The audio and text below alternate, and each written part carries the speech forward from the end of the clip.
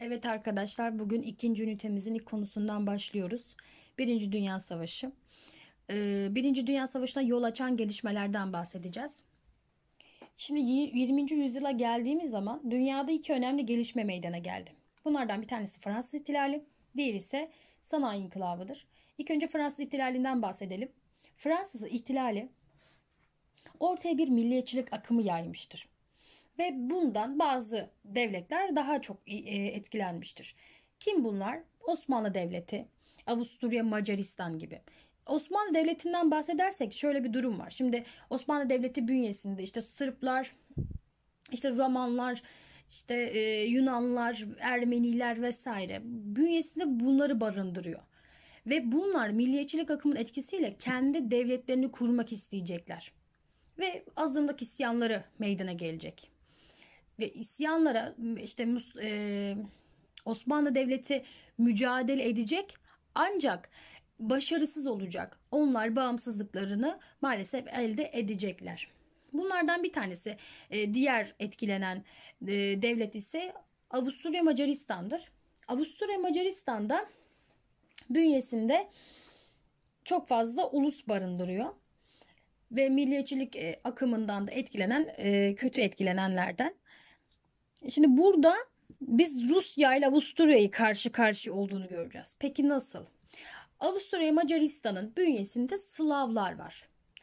Rusya'nın bu dönemde de politikalarından bir tanesi de panslavizm politikası. Yani ne demek panslavizm politikası?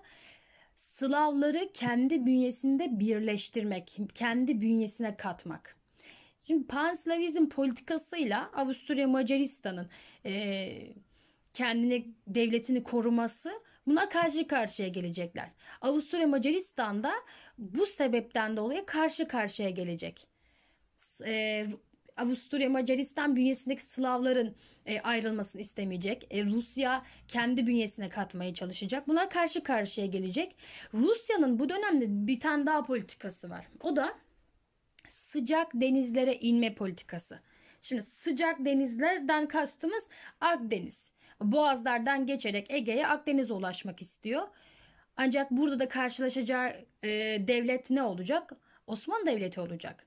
Çünkü istediği yollar Osmanlı topraklarından geçiyor. Ve birçok ülkenin de sömürgelerin tehlike altına atacak. O da ayrı bir konu tabii.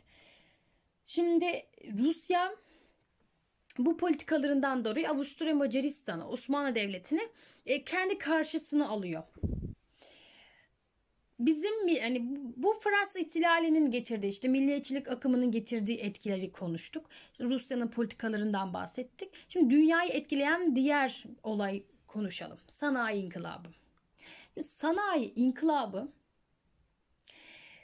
dünyada sömürgeciliği böyle büyük alanlara yayılmasına neden olan bir gelişme. Sanayi inkılabında ne var? İşte el, e, El işçiliğinden makine işçiliğine geçildi. Üretim arttı. Şimdi üretimin devam edebilmesi için bizim bir şeye ihtiyacımız var. Nedir o da? Ham madde. Ham madde ve sen ürettin bu ürettiklerini de satman gerekiyor. Bu da pazar arayışı. Şimdi e, devletler ham madde ihtiyaçlarını karşılayabilmek için bu pazar arayışı için ne yapacaklar? Birbirleriyle sürekli rekabet halinde olacaklar. Bu da işte bu sömürgecilik yarışını beraberinde getiriyor.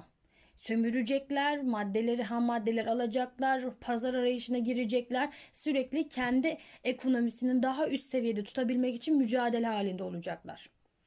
Şimdi biz buraya bir de İtalya, Almanya, İtalya yazdık. Peki Almanya ve İtalya bu dönemde ne yapıyordu? Almanya ve İtalya şöyle bir durumu vardı siyasi birlikleri yoktu. Ne demek bu? Hemen gösterelim bir haritayla. Şimdi burada biz İtalya'yı görüyoruz. Burada Sicilya Krallığı var. Burada papalık var. Vesaire. Burada siyasi birlik yok. E, Almanya'ya geliyoruz burada. Yine Almanya'da işte Prusya Krallığı, diğer Alman devletleri vesaire bir sürü yine e, krallıklar var. İşte e, devletçikler var. Yani siyasi birlik yoktu. Ancak bu döneme geldiğimiz zaman Almanya ve İtalya siyasi birliğini tamamlamış ve bir birlik olmuş. Tek bir Almanya, tek bir İtalya. Bu da onların işte kendi içerisinde toparlanıp bu yarışa katılmalarına sebep oluyor. Yani bir Almanya ve İtalya yeni güçler doğuyor. Sömürgecilik yarışında e, İngilizlerin karşısına işte Fransızların karşısına kim geliyor güçlü bir şekilde? Almanya ve İtalya geliyor. Zaten Almanya'ya baktığımız zaman ciddi anlamda e, ekonomide çok üst sıralara gelmeye başlayacaklar. Ve bunun engellenmesi gerekiyor. Şimdi baktığımız zaman genel olarak biz şimdi bloklaşmaya gideceğiz. Hangi devlet kimle beraber olacak? Bu e, işte Birinci Dünya Savaşı'na yol açan gelişmelerde kim kimin taraftarı? Avusturya Macaristan'a baktığımız zaman ne? Slavları kendi bünyesinde e, tutmaya devam etmek istiyor. E, kendi birliğini sağlamaya çalışıyor. Çünkü çok uluslu milliyetçilik akımından etkilenmek istemiyor. Rusya panslavizm politikası var. Sıcak denizler inme politikası var. İtalya sömürgecilik e, yarışına katılmak istiyor. Yeni sömürgeler elde etmek istiyor. İngiltere sömürgelerini korumak istiyor. O liderliğini elinde tutmak istiyor. Almanya e, zaten güçlenerek devam ediyor ve e, bu gücüne güç katmak istiyor. Sömürgecilik yarışının ön plana çıkmak istiyor ki zaten şöyle bir parantez açalım. Almanya ciddi anlamda ekonomisi çok yükselecek. Fransa ve Almanya arasında zaten bir problem var. Bunun e, ilerleyen dakikalarda size anlatacağım Fransa ve e, Almanya'nın özel olarak hani nasıl yarış içerisindeler, birbirleriyle dertleri neden, e, ne neden ne, ne var aralarında. Şimdi baktığımız zaman e, tarihler 1882'ye geldiği zaman Almanya İngiltere'nin gücünü dengeleyebilmek için ne yapacak? Avusturya Macaristan İmparatorluğu ve İtalya ile birleşecek ve bir ittifak e, grubu oluşturacaklar. Bağlaşma grubu. Üçlü ittifak grubunu oluşturacaklar. 1882'de. Kim? Almanya, Avusturya Macaristan ve İtalya üçlü ittifak grubunu oluşturacak. Daha sonra 1907 yılında ise bir üçlü itilaf grubu meydana gelecek. Peki bu nasıl olacak?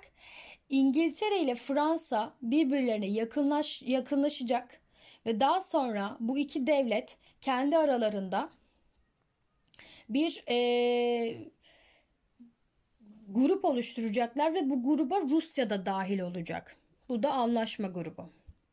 Ve Birinci Dünya Savaşı'na yol açan gelişmelerden biz iki e, ayrı grubun birbirlerine nasıl yakınlaştığını birazcık anlayabiliyoruz. Birinci Dünya Savaşı'nın genel ve özel nedenlerinden e, şimdi iki başlık altında e, konuşacağız. Genel nedenlerine baktığımız zaman ilki milliyetçilik akımı. Milliyetçilik akımı Fransız İhtilali ile beraber e, yayılan bir akım. Ve bununla beraber her ulus kendi devletini kurabilecek. Bu da beraberinde ne getirdi? Bağımsızlık isyanlarını getirdi. Uluslar hangi devletin himayesi altındaysalar o devlete isyan ettiler ve kendi devletlerini kurmak istediler. Diğer bir gelişmemiz ise sanayi inkılabı ile birlikte ham madde ihtiyacının artması. Şöyle sanayi inkılabı ne? El işçiliğinden makine işçiliğine geçin makineye geçiliyor. Makineleşme meydana geliyor ve bu üretimin artması demek. Çünkü hani sen elinle kaç tane üretirsin? 10 tane. O 10 bin tane üretti. Sanayi inkılabının getirdiği makine. Ve ne kadar üretirsen o kadar ham madde ihtiyaç duyarsın. Bu da devletlerin e, dünyaya yayılıp ham madde ihtiyaçlarını karşılamaya e, karşılamaya çalıştılar devletler. Bu da işte Ürettiler, ürettiklerini satmaları gerekiyor. Sömürgecilik yarışı meydana geldi. Sömürgecilik e, çok acımasız bir şey. Nasıl? Mesela örnek vereyim. E, bir belgeselde izledim. E, Hollanda çiçek yapımında işte çiçekte önde ekonomi olarak hani dünyanın geneline baktığımız zaman e, çiçek üretiminde öndeler. Her neyse Hollanda e, kendine özel çiçekleri var. Ama kendine özel değil aslında. Hollanda'nın bir tane uçağı var. E, Afrika'nın bir bölgesine iniyor bu uçak. Afrika'dan işte sabah saatleriydi sanırım. Sabah saatlerinde bunu yapıyorlar. Uçak iniyor. Afrika'dan o bölgedeki çiçekleri alıyorlar. Daha sonra kendi ülkesine götürüyor. Ama o çiçeklere sorarsanız kimin onlar? Afrika'nın, Afrika'daki yerli halkın Afrika'ya ait. Ama kendilerine ait olmayan bu çiçekleri Hollanda alıyor, üretiyor ve satıyor. Ama bu e, hani kendi malıymış gibi kullanıyor. Yani oradaki insanların belki de ekonomik faaliyetlerini ne yapıyor? Orada alıkoyuyor. Yani sömürgecilikte acımasızlık var ama e, acımasız olana sen acımasız dersen adam senin suratına bakar sen ne diyorsun diye. Devam edelim. Bloklaşma ve silahlanma yarışı. Şimdi bloklaşma nasıl oluştu? Bunu daha önceden anlatmıştık. Kendi hangi çıkar e, çıkarı hangi devletle uyuşuyorsa onun yanındalar. Avusturya ile Almanya'nın çıkarı birlikte olmak. O yüzden de birlikteler. İtalya'nın amacı o anda birlikte olmaktı. Ee, Avusturya ve Almanya ile birlikte oldular. Ama Mesela örnek verelim. Savaş başladıktan sonra İtalya'ya dediler ki bak sana güzel sömürge e, toprakları vereceğiz. Gel sen bizimle ol. O zaman hop İtalya nereye gitti? Karşı bloğa. Yani bu yüzden de şey diyoruz. Hmm, çıkar çıkarı hangisi ise hangisiyle olursa onunla bloklaşır. Onunla e, birlikte olur. Özel nedenlere geliyoruz. Şimdi özel nedenlere baktığımız zaman Almanya Fransa arasında Alsace-Lorraine. Hemen şöyle bir yine haritadan gösterelim.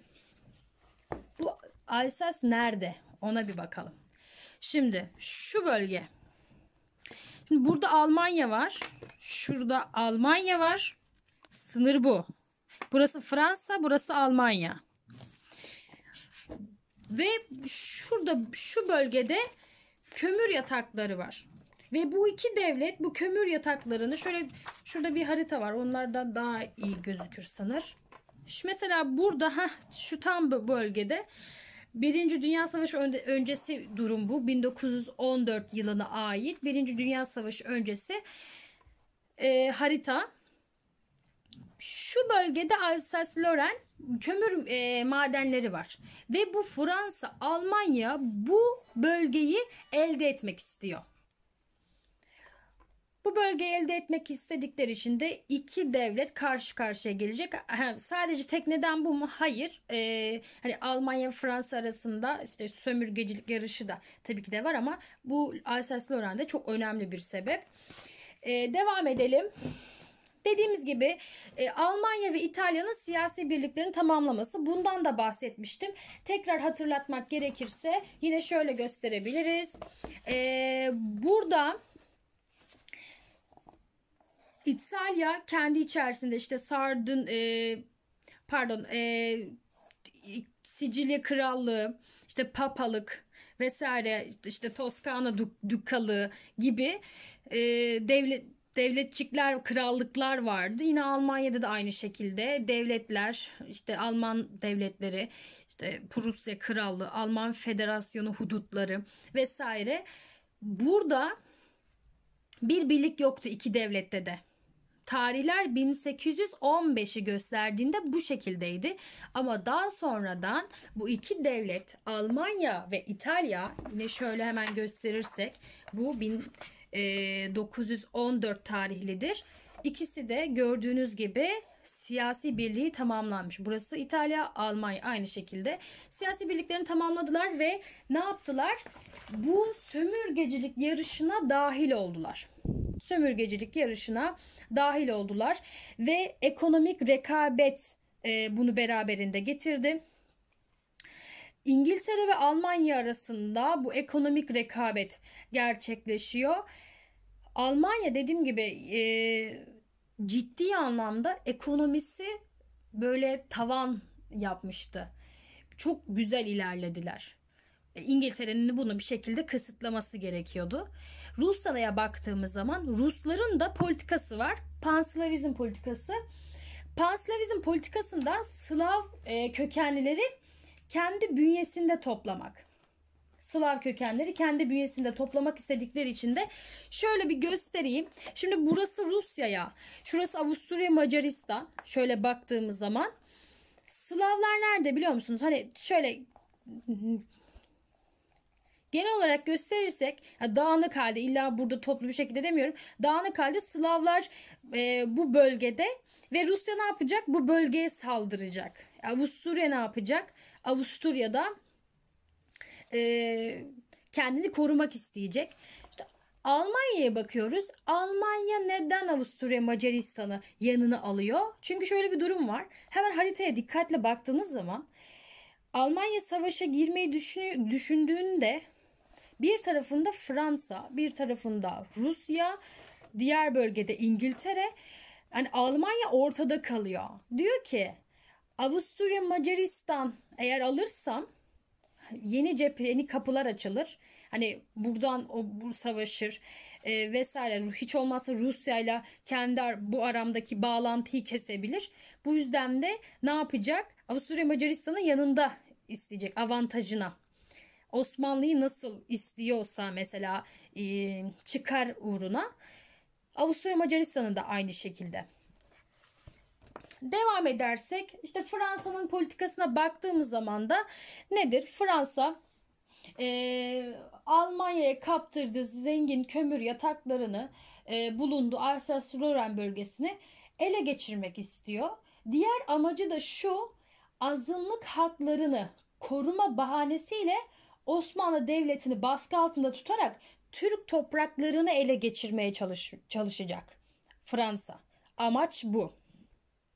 Evet şimdi Birinci Dünya Savaşı'nın genel ve özel nedenlerinden bahsettik. Evet arkadaşlar şimdi Birinci Dünya Savaşı'nın başlamasından bahsedeceğiz.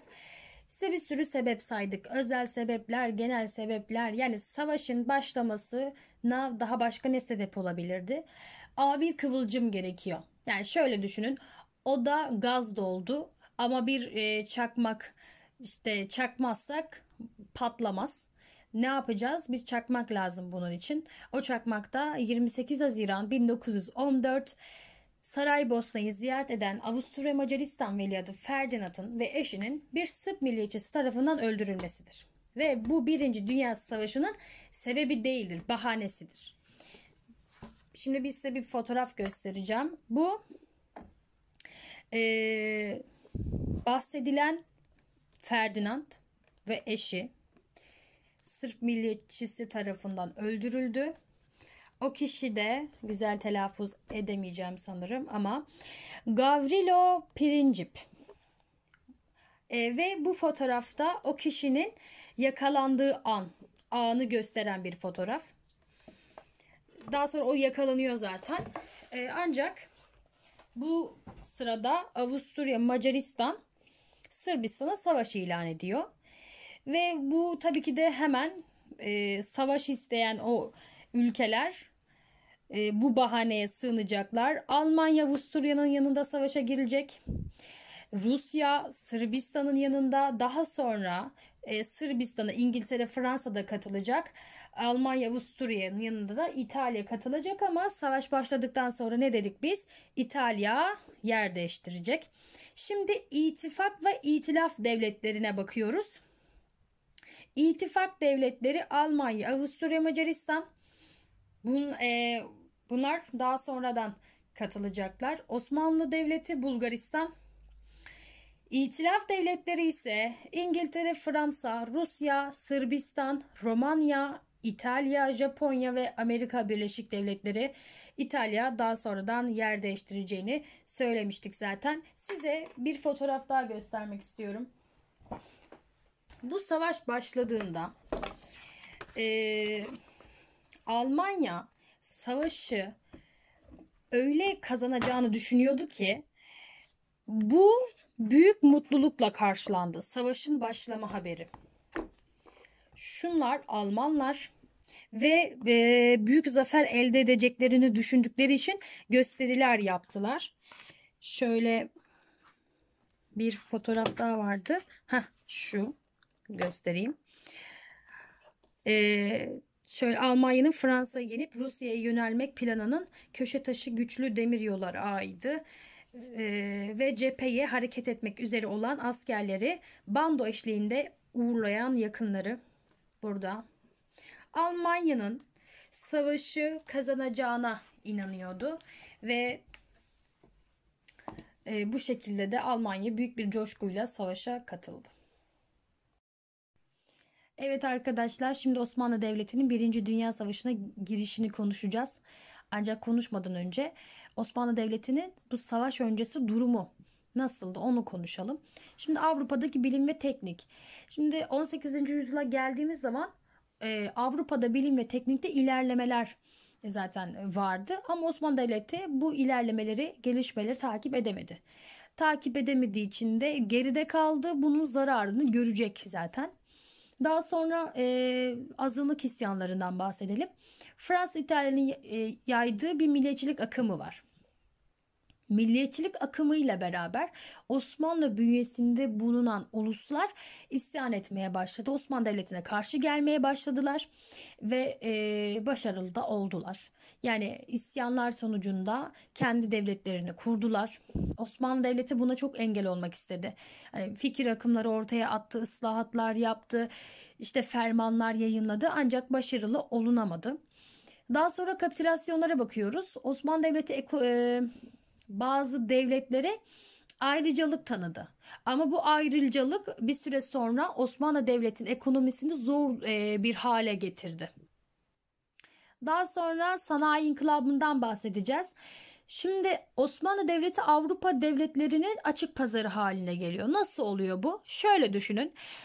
İngiltere'den örnek verelim. İngiltere üretimini yaptı. Bunları bir şekilde satması gerekecek. Nereye gidecek? Osmanlı topraklarına geldi. Ee, Osmanlı topraklarında kendi malını satıyor. Yine örneğini verdik yine söyleyelim. Fabrikada 10 bin tane yaptı. Osmanlı esnafı 10 tane yaptı. Aynı pazara çıkıyorlar. Osmanlı esnafı bir gömleği, gömleği 70 liraya satıyor. İngiltere 10 liraya satıyor. Halk da e, 10 liraya gidip alıyor. Bu yüzden de Osmanlı esnafı ne yapacak? Bundan zarar görecek. Bundan zarar görürse e, Osmanlı ekonomisi çökmeye başlayacak. Açık pazar haline gelecek ve ithal malların Osmanlı pazarını it, e, işgal ettiğini göreceğiz. Daha sonra e, Osmanlı Devleti ekonomisini düzeltmek için Avrupa'dan borç para alıyor. Ama e, bu borçlarını ödeyemeyince Avrupalı devletler Duyunu Umumiye İdaresi kuracak. Duyunu Umumi İdaresi Genel Borçlar İdaresi'dir. Şöyle düşünün. E, burada toplanan paralar işte borçlu Osmanlı Devleti'nin borçlu olduğu devletler ne yapacak? E, işte kendi borcunu işte hakkı olanı oradan alacak. Şimdi size bir soru. Video içerisinde bir soru bu. Bunu bir kenara yazıyorsunuz. Ee, Osmanlı Devleti ilk hangi savaşta borç almıştır? Bunu yazın bir kenara. Bunu size soracağım. Tamam. İşte devam edelim. Yazın. E, bu sorulacak. Şöyle. Evet, daha sonra dediğimiz gibi zaten içinde bulunduğu durumdan kurtulabilmek için ıslahatlar yapacak ama bu ıslahatlar başarılı ol, olmayacak. Daha sonra dağılmayı engelleyebilmek için Tanzimat Fermanı, ıslahat Fermanı, birinci meşrutiyet, ikinci meşrutiyet bu milliyetçilik akımı engellemek amacıyla e, yap, yapılan yenilikler ama bunlar dağılmayı yine engelleyemiyor. Yani yine dağılma devam edecek ve azınlıklar Osmanlı Devleti'nden ayrılacak. Bunun üzerine tuz biber olan Trablusgarp Savaşı ve Balkan Savaşları geliyor. Şimdi yine kenara yazmanızı istiyorum. Bir soru daha geliyor. Bu sorumda şu. Trablusgarp Savaşı hangi anlaşmayla sonlanmıştır? Ve Kuzey Afrika'da kaybettiğimiz son toprak parçası nedir? İki sorum var. Bu hmm, maddeyle ilgili. Devam ediyorum. Trablusgarp Savaşı'nda İtalyanlar işte bu bölgeyi İtalyanlarla yapılan savaş ancak e, bu savaş gerçekleşirken Balkanlarda bir savaş meydana geliyor ve Balkan devletleri Osmanlı Devleti'nden işte e, ayrılabilmek için hak kazanmak için böyle bir savaş başlatıyorlar ve Balkanların e, daha önce zaten bunu anlattık çok üzerine durmayacağız. Bu Balkan savaşları, Trablusgarp savaşları ile beraber ne olacak? Osmanlı Devleti iki cephede savaşamadığı için e, zayıf düşecek, ordusu zayıf düşecek. Daha sonra e, şöyle bir durum var. Şimdi Osmanlı Devleti'nin savaşa girişinden bahsediyoruz. Hiç acaba savaşa girmeye de bilir miydi? Ama şöyle bir durum var. Yani devletlerin Osmanlı topraklarında ciddi anlamda gözü var. Mesela bir Rusya'yı düşünün. Rusya amacı sıcak denizlere inmek. Yani Karadeniz'e hakim olmak istiyor. Boğazları ele geçirmek istiyor. Boğazlardan Akdeniz'e inmek istiyor. Ve e, bu amacını gerçekleştirebilmesi için Osmanlı topraklarını alması lazım. Ya da İngiltere'nin, e, Almanya'nın, Fransa'nın hepsinin aslında bir yerde Osmanlı toprağında gözü var. Çünkü Osmanlı toprağın işte topraklarında hem önemli boğazlar var, sular var, petrol var. E, Orta Doğu'ya baktığımız zaman bu yüzden de yani Osmanlı toprakları paylaşılacak. Bu belli zaten. Osmanlı Devleti de bir şekilde e, bu paylaşımlara engel olmak istiyor ya da e, savaşa girip mücadele etmesi gerekecek. Şimdi ilk önce itilaf devletlerin yanına gidiyor. Ancak itilaf devletlerinin zaten amacı net olarak e, Osmanlı topraklarını paylaşmak olduğu için geri çeviriyorlar. Daha sonra ittifak devletlerine gidiyor ve kabul ediliyor. Bu da yine bir sonraki e, dersimizde konuşacağız. Almanya neden Osmanlı Devleti'nin yanında istiyor?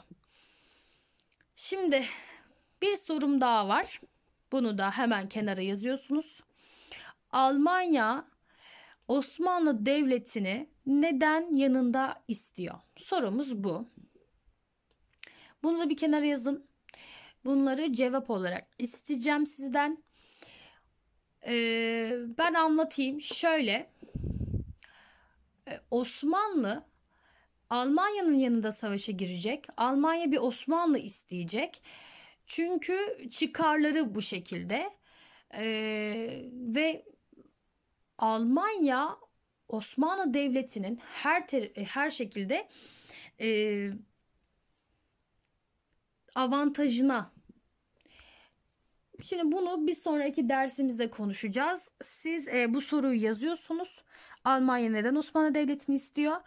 E, bunları cevaplarını sizden isteyeceğim. Teşekkür ederim.